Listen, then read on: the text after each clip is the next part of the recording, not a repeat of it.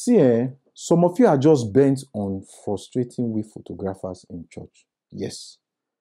I don't know why ministration will be going on, pastor is laying hands and all that, and you as a protocol man or usher, you are blocking our shots. Why? Are you supposed to be at the side of the pastor or behind behind the, the, the person that they are laying hands on? You are blocking the shots. See, let's let's take dressing in church. Let's be guided because I will remove the battery from the camera and aim it straight to your forehead on the podium.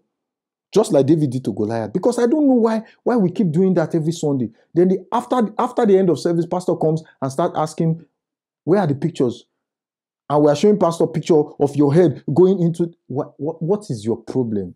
See, let's be guided.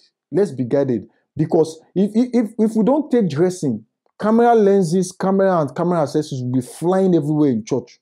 Let's be careful. Mhm.